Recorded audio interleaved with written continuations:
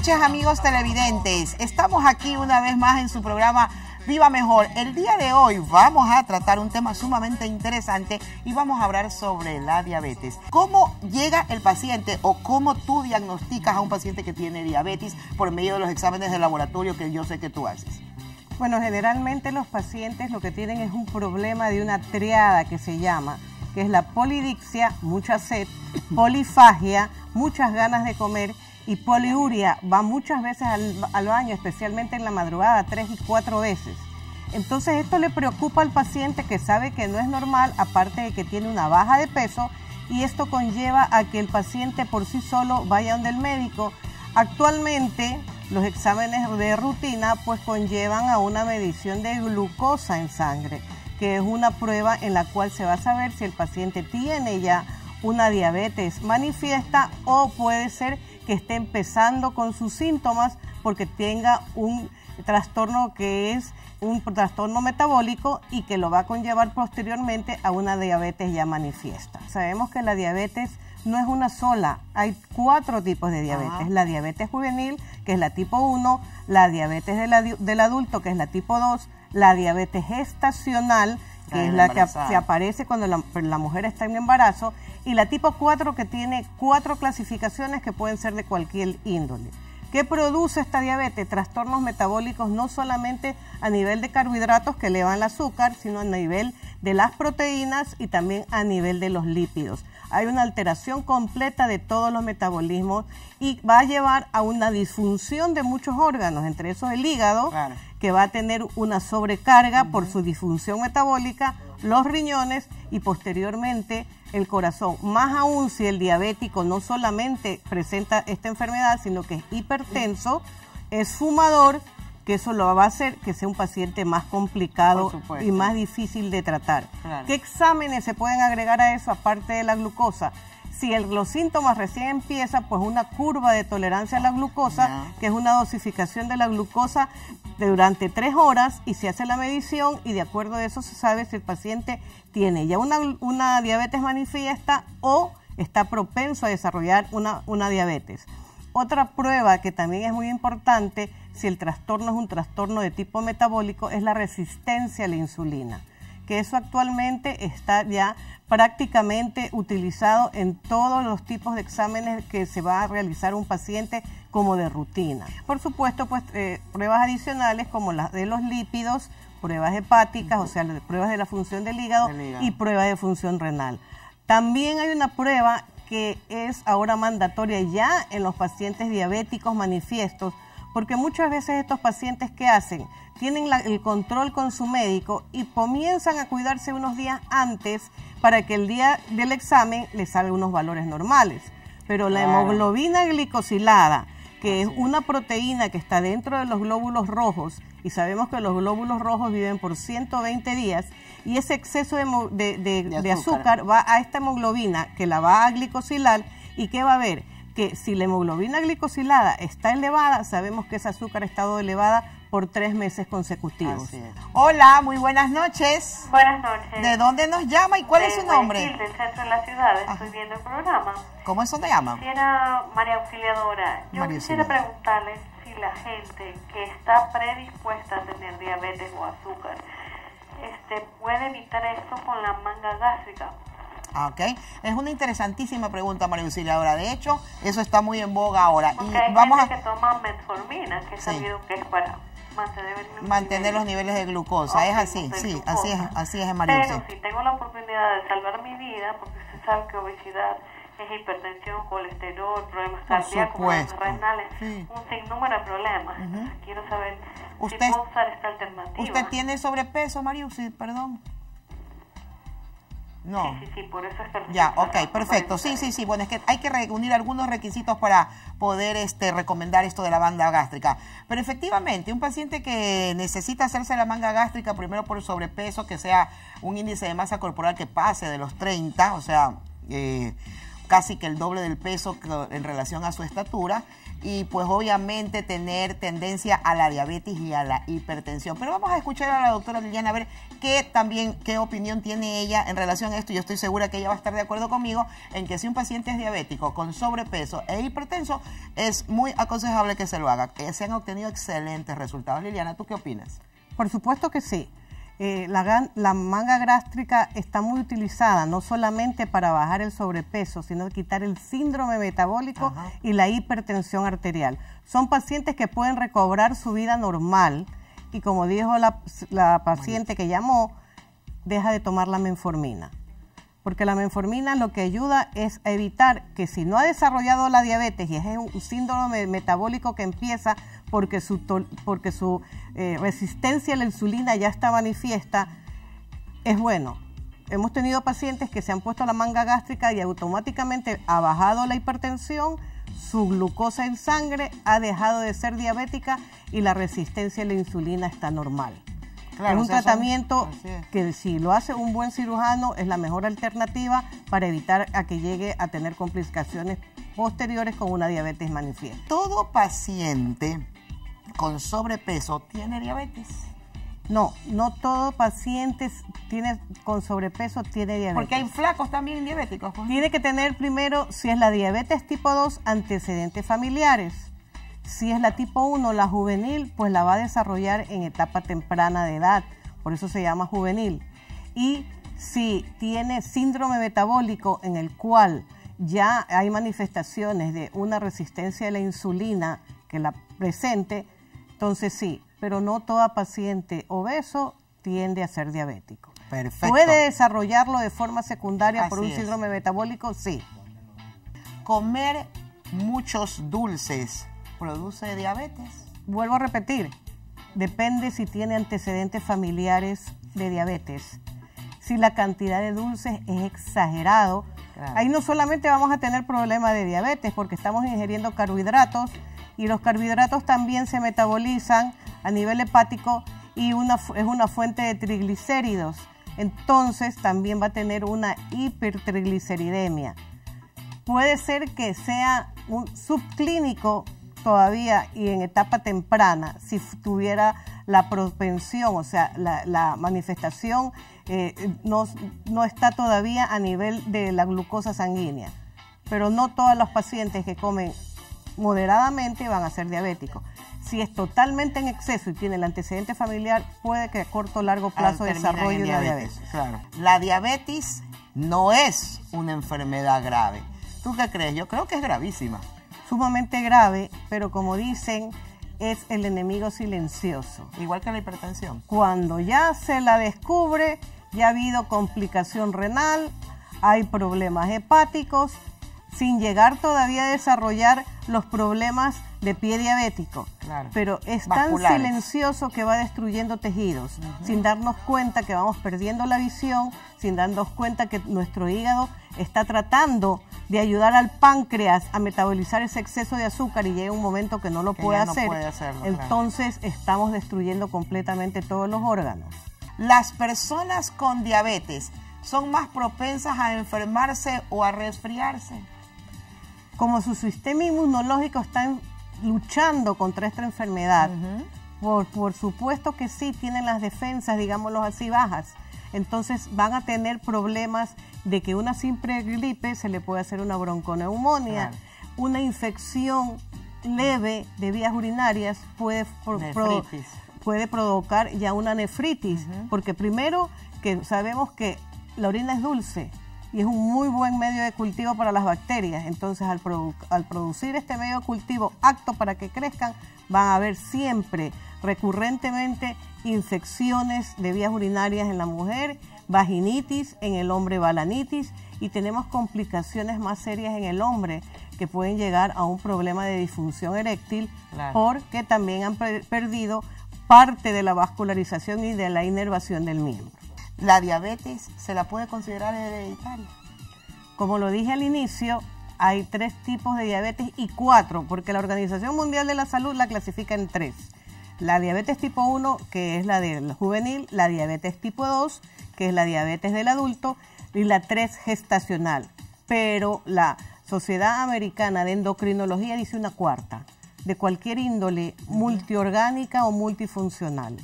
¿ya? Entonces, si estamos hablando de que la diabetes tipo 1 tiene un problema genético, pues es hereditario.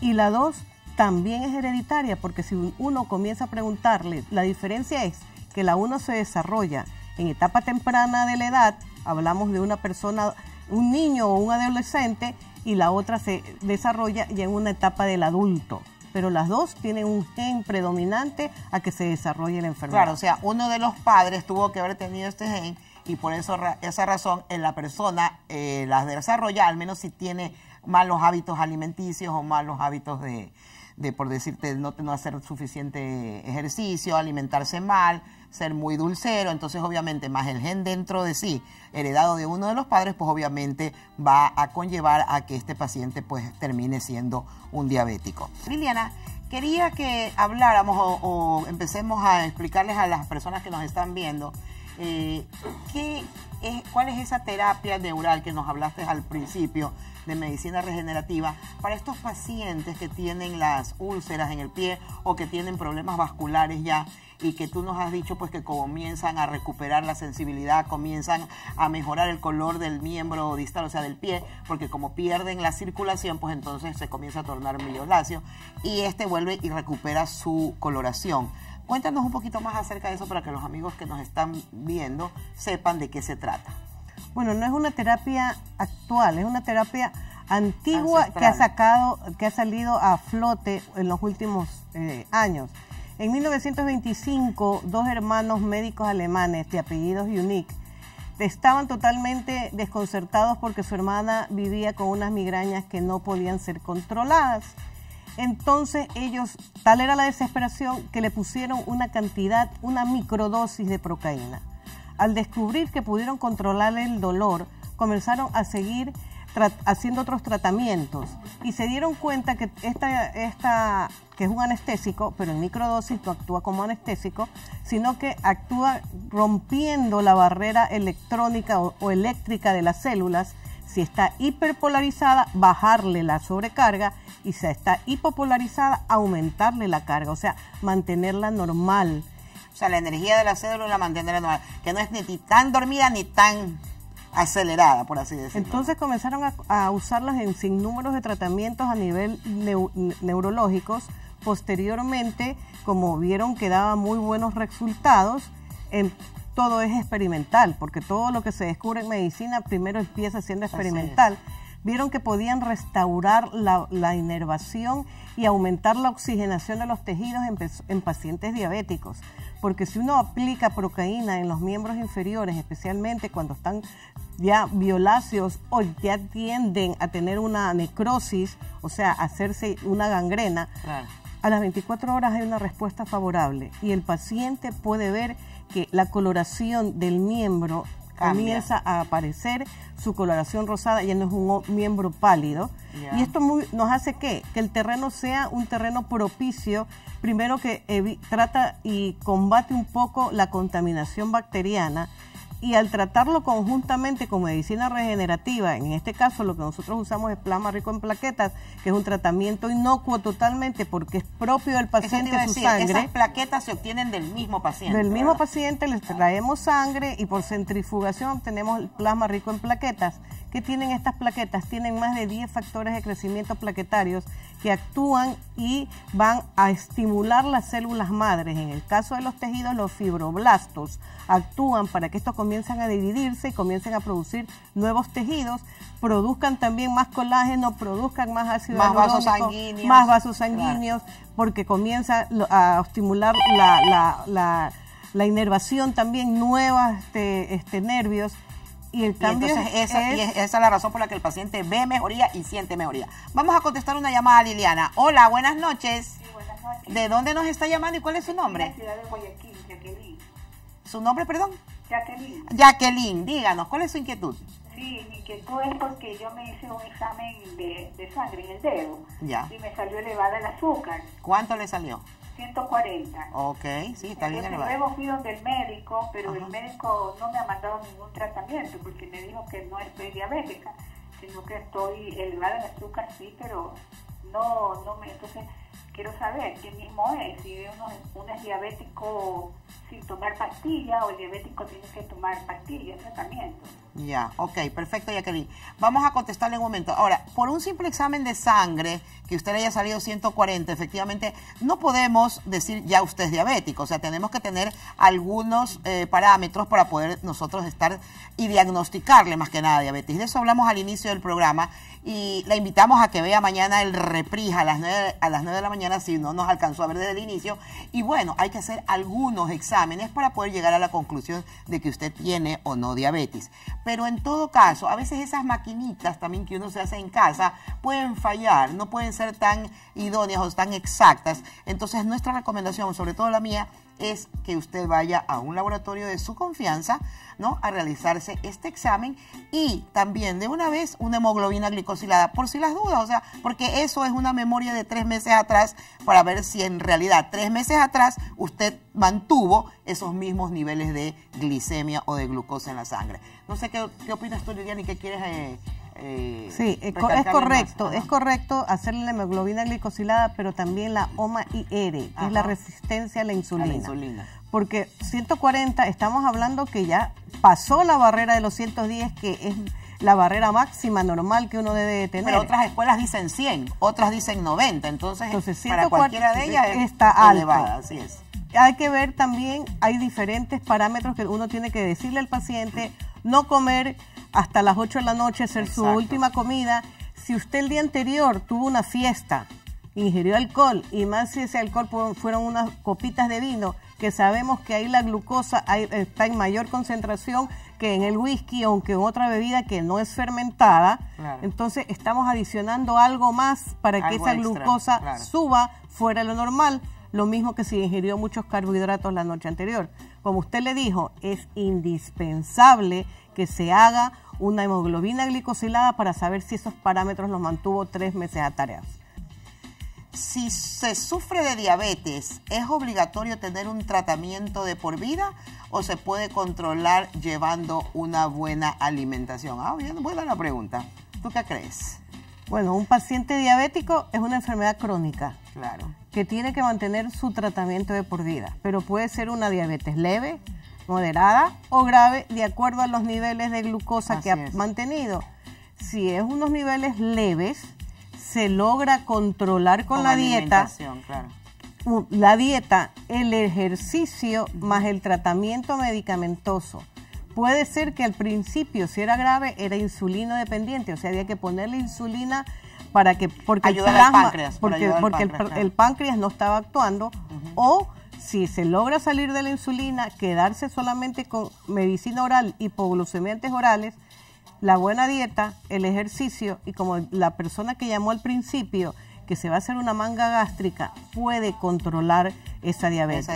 Lamentablemente el daño en el páncreas es irreversible, es un órgano que no se regenera y tiene unas células especiales que son las islotes de Langerhans que producen la insulina en las células beta y si esas células han sido dañadas, lamentablemente es irreversible. Por eso inclusive cuando el paciente tiene una diabetes grave por mucho tiempo se está hablando de tener un páncreas externo, para que pueda suplir la función del páncreas que la ha perdido. Hola, buenas noches, ¿de dónde nos llama? ¿Aló? ¿Cómo está? ¿Se fue la llamada? Ok, bueno. Entonces, Liliana, tus recomendaciones para los pacientes que nos han estado viendo el día de hoy en relación a este tema tan interesante.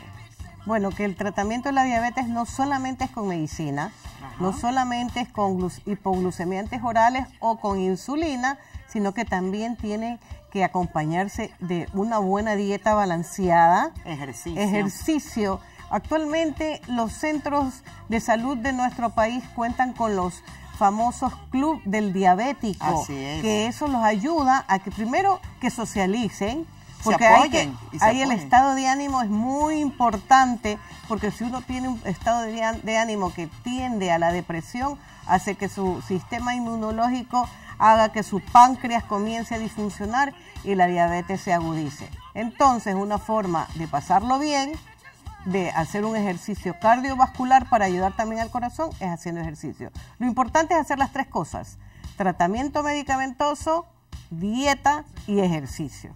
Es perfecto, sí, así es, amigos televidentes, y sobre todo, si ya sabemos que tenemos una diabetes instaurada, ya sabemos que nuestro, nuestro endocrinólogo nos está enviando tratamiento para la diabetes, tenemos que cuidarnos y también, pues obviamente los consejos que les habíamos dicho, si nos cortamos las uñas de los pies, de las manos, hacerlos con personas que sepan, porque muchas veces ahí es donde empiezan los problemas de, graves para un diabético y que puede llegar a perder hasta el pie. Vamos a, a contestar una llamada que tenemos al aire. Hola, buenas noches. ¿De dónde nos llama? Ya no. ¿Cómo está usted? ¿De dónde nos llama y cómo es su nombre? Soy César, le llamo de Santo Domingo de los H. Estoy en este programa. Qué lindo, qué bien, don César, que nos esté viendo desde allá de Santo Domingo de los Áchila. Muy buenas noches y le agradecemos su llamada. No comparto muchas cosas de lo que hablan. Yo tengo problemas, soy diabético como 28 años. Ajá. Yo me saco la muela a ver estando a 250, 300 y a mí la herida se me cura. Qué bien. Oiga, usted es un hombre con mucha suerte, créame. Es a un, paciente, diríamos que atípico, o que su organismo está en buen estado, su sistema inmunológico y su sistema más que nada neural está en excelentes condiciones y lo felicitamos, sinceramente. Muy pocos pacientes pueden contar esto. Cualquier cantidad, las mañanas y las tardes. Y no hago dieta, como de todo. Solo tengo un problema, doctora. Quiero que me ayude usted. Claro. Lo que no sirvo como hombre últimamente, ya mi esposa me dejó. Ajá, claro, es que habríamos casualmente dicho eso, ¿no? Que precisamente las complicaciones del diabético y sobre todo si es varón, pues viene la impotencia. Y la impotencia se debe, pues obviamente, a que el miembro viril del hombre está muy vascularizado y es precisamente allí donde la diabetes está actuando y haciendo su mal papel. ¿Sí? Entonces, lamentablemente lo que usted dice, no sufre de nada, no las muelas, no esto, no el otro, pero en cambio en esa parte está usted acarreando todo las complicaciones de la diabetes, se le ha ido precisamente a la parte eh, sexual. Y es eh, precisamente por esa razón que las arterias y las venas de su pene, pues obviamente están afectadas y esa es la razón por la que no hay erección.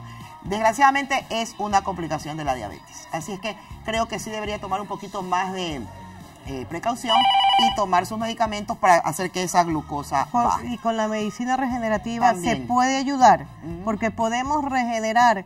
Eh, se usa mucho actualmente el plasma rico en plaqueta en la disfunción eréctil masculina. Bueno, entonces ya tiene Porque revasculariza y también regenera el tejido. Entonces ya tiene una alternativa, señor César de Santo Domingo de los Áchilas. Tenemos otra llamada, ¿verdad, Majito, al aire?